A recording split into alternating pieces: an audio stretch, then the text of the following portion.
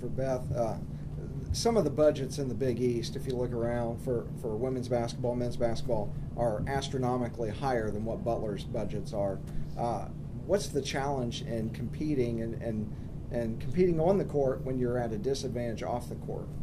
I mean, I don't really look at it as a disadvantage because I think we have so many advantages at Butler over other people. So we, we really believe here it's about the people. So, I mean, our players probably don't even know that because we don't talk about that.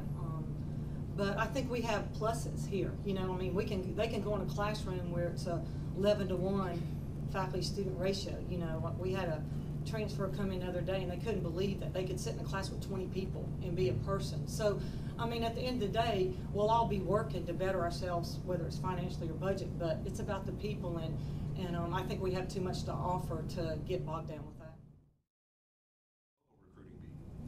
Well, I think local recruiting will always be very prevalent. We need to, um, I don't, it'll expand it some. You know, we've gotten some interest from some East Coast athletes now, but I think what it helps us do is it helps us get the next level local recruit, which in Indiana and in the areas around, as everybody knows in here, it's there's really good players. So we feel real fortunate now to be, you know, talk with the BCS schools around us and be able to elevate our recruiting to the next level. Like I said earlier, academically, everybody wants to look at Butler.